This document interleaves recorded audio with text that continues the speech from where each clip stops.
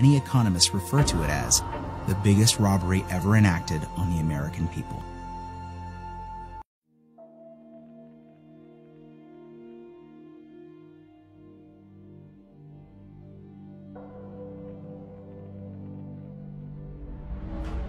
In order to begin to understand how our financial system works, we need to go back to the early 1900s, 1910 to be exact. Everyone at some point in their lives has heard of the Federal Reserve, but most likely don't understand what it is or how it works. The Federal Reserve, referred to as the Fed, is a central bank that many economists refer to as the biggest robbery ever enacted on the American people. The reason for this is because the Federal Reserve is neither part of the federal government nor does it have any reserves. Yet, this single organization controls the money supply of the most powerful country in the world. The Fed is very diligent in hiding the fact that they are not part of the government. The last thing they want the American people to fully understand is that our government does not control our own money. In order to achieve this, they were very clever and decided to call their institution the Federal Reserve. And by labeling themselves this way, the general public never thought twice about who was in control of the country's money supply. If the Federal Reserve is not part of the government, then who controls this private organization and how did this come to be? The answer to this question is what changed the course of our country forever. In November of 1910, a secret meeting took place of six bankers and economic policymakers who represented the financial elite of the Western world. It was hosted at the J.P. Morgan estate on Jekyll Island in Georgia. In attendance was Senator Nelson W. Aldrich, Abram Piatt Andrew Jr., Assistant Secretary of the Treasury, Frank Vanderlip, President of National City Bank of New York, Henry P. Davidson, Senior Partner of J.P. Morgan and Company, Charles D. Norton, President of First National Bank of New York, Paul Warburg, Director of Wells Fargo, Benjamin Strong, the emissary for JP Morgan, and coincidentally, the first president of the Federal Reserve. Years later, Frank Vanderlip referred to this meeting as the actual conception of what eventually became the Federal Reserve System. This meeting was so secret at the time that not even the names of those who attended were mentioned to the servants who lived and worked on the island. The men who attended came on a late night train, claiming to be on their way to a hunting expedition but instead, these bankers met with Senator Nelson Aldrich to draft what would eventually become the Federal Reserve Act.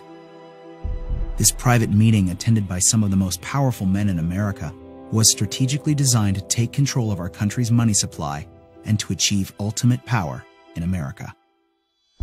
Mayer Amschel Rothschild, one of the most powerful European bankers of his time, stated it best when he said, Permit me to issue and control the money of the nation and I care not who makes its laws.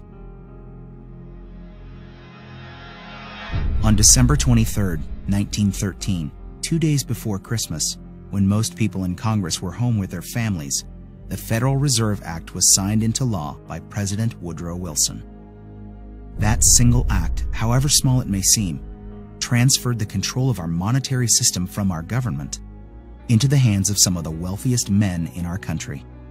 Putting into law the Federal Reserve Act gave unlimited power to a few wealthy banking institutions in America. The Fed has the power to issue currency, manipulate interest rates, and run secret bailouts. Yet Congress and the President are not allowed full oversight over this powerful organization.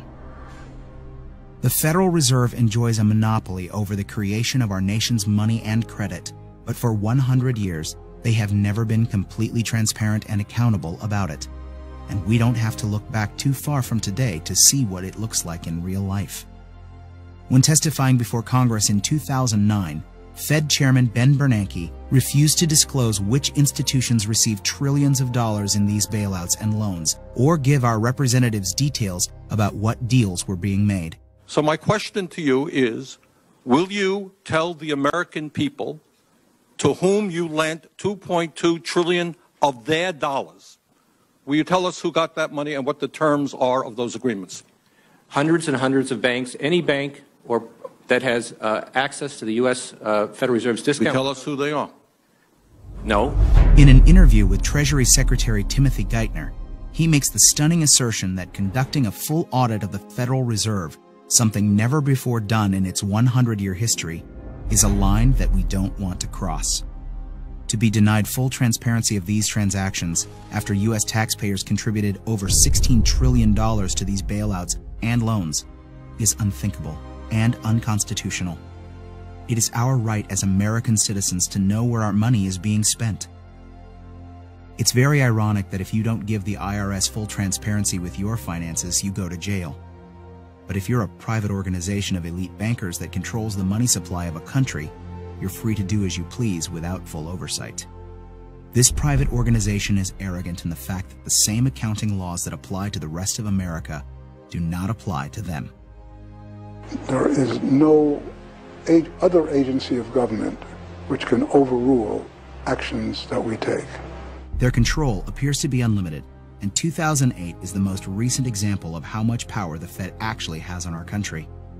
Many of us were told in private conversations that if we voted against this bill on Monday, that the sky would fall, the market would drop two or three thousand points the first day, another couple thousand the second day, and a few members were even told that there would be martial law in America if we voted no. That's what I call fear mongering.